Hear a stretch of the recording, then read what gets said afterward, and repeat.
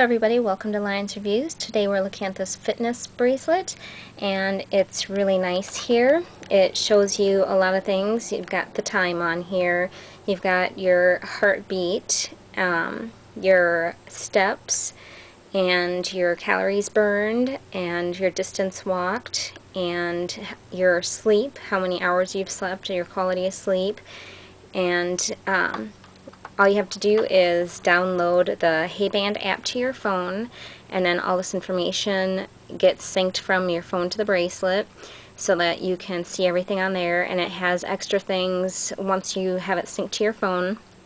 You can also see your oxygen level, your fatigue level, and it's just all around really cool that it has all those little nifty features.